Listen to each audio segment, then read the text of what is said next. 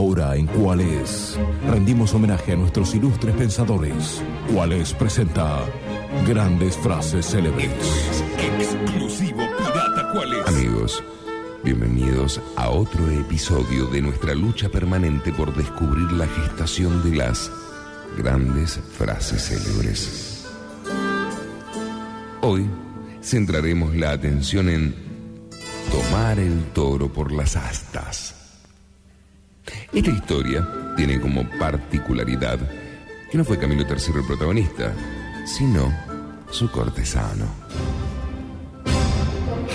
Cortesano, debo deciros que esta vez soy yo quien está preocupado por vos, y no al revés, como sucede a menudo. No comprendo cuál es el motivo de vuestra preocupación. Mm, He notado que en todos los años que lleváis a mi servicio nunca habéis tenido una compañera. Mm, Si me permitís haceros una confesión, hace tiempo que vengo jugando a dos puntas. Mm, Caramba, ¿y eso no os trae complicaciones? Digo, problemas de celos. Para nada, mi mano derecha no siente celos de la izquierda, incluso a veces hasta actúan juntas. Ay, pero cortesano, ¿por qué nunca habéis buscado algo mejor?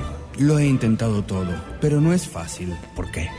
Bueno, no he tenido buena suerte y también debo reconocer que soy un poco tímido. Mm, Claro, así es difícil, es cierto. Mm, Además, imagino que sabréis que las mujeres no abundan en el reino. Ah, patrañas, cortesano. En las habitaciones contiguas a la mía duermen unas 200 doncellas. Justamente por eso no abundan, las tenéis todas vos, señor. Mm, entiendo. ¿Hace cuánto que estáis con la sequía, cortesano? Digamos, un rato largo, Alteza. Eh, días, meses, años. eh, Con deciros que la última vez que vi una vagina fue en mi propio parto. Descuidad, cortesano. Dejad todo en mis manos que yo he de solucionaros vuestro inconveniente. ¿Qué vas a hacer? Is? Todavía no lo sé, pero algo se me va a ocurrir. El rey, que ese día estaba con mucha tos, se devanó los sesos durante buena parte del día tratando de hallar la solución para su cortesano. No tenía obligación alguna de hacerlo, pero veía que el problema aquejaba en demasía al lacayo, que siempre lo había servido de manera fiel. Así fue como al día siguiente, ah, una coma, amo y siervo se encontraron para seguir hablando del asunto. Majestad, ¿me habéis mandado a llamar? Así es, hallaros una solución fue más difícil de lo que pensé. Me ha costado mucho realmente. Pero entonces no habéis encontrado nada. Mm, Tranquilo, cortesano, que haya sido difícil no significa que vine hasta aquí con las manos vacías. ¿Y qué me trajisteis? Un par de guantes de terciopelo, así por lo menos cuando os toquéis parecerá una mano ajena.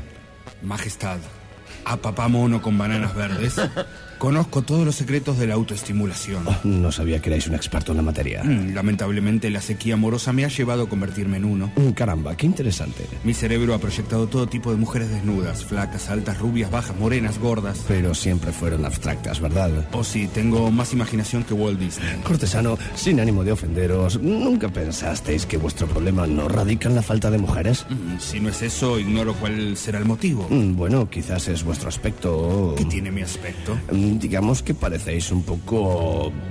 gay. ¿Gay? Mm, Sí, sobre todo por vuestra forma de actuar. No lo puedo creer, me dan ganas de ponerme a llorar. ¿Y por qué no lo hacéis? Mm, Se me correría el rímel. Descuidado. De todas maneras, y a pesar de vuestro peculiar aspecto, intentaré conseguiros una compañera. Solucionar el problema del cortesano ya era un desafío personal para Camilo III. No había motivo alguno por el cual un rey tuviera que ayudar a alguno de sus siervos, pero como a su majestad le encantaban los retos, no iba a parar hasta terminar con el inconveniente. Doce horas después de la última charla, el cortesano volvió a entrar al aposento real. Permiso. Adelante, cortesano, os estaba esperando. ¿Hay novedades? Pues claro, he hallado una solución. ¿Sí? ¿Y cuál es? Un momento. Antes, dadme un cuchillo ¿Cuchillo? ¿Para qué? para hacerle un agujero a este pedazo de vacío. Alteza, ya os dije que estoy solo hace años. He probado todos los cortes de la vaca. Ah, realmente me apenáis, cortesano. ¿De verdad? Sí, sí, me siento mal al veros así. Tantas cosas habéis hecho por mí que es momento de que yo haga algo por vos. ¿Qué estáis diciendo? Descargaos conmigo, mi humanidad toda está a vuestra disposición. Dale nomás. ¿Por qué os estáis alejando? ¿Os vais a retirar? No, estoy tomando envío. No, no, momento, momento, momento. Me arrepentí, me arrepentí. No puedo hacerlo, no puedo hacerlo. Estaba ya tan cerca. Igual se me acaba de ocurrir una solución. Acercaos y escuchad. Media hora más tarde, Ya estoy de vuelta, Alteza. ¿Y cómo os fue con mi idea? Más o menos, mirad mi cuerpo sangrante. Tengo más de 100 cornadas encima. Par diez. ¿Esperabais que el animal se dejara someter tan fácil? ¿Y cómo hago para dominarlo? Fácil. Debéis tomar el toro por las astas, hombre. Con el nuevo dato provisto por el rey, el cortesano pudo finalmente cumplir con su sueño. El toro sintió el rigor de tantos años de sequía a tal punto que a la media hora cayó muerto. Camilo III estaba feliz, no solo porque había ayudado a su lacayo, sino porque también había dejado grabada otra de las grandes frases célebres. Hasta aquí, grandes frases célebres. Ahora continuamos con las boludeces de siempre.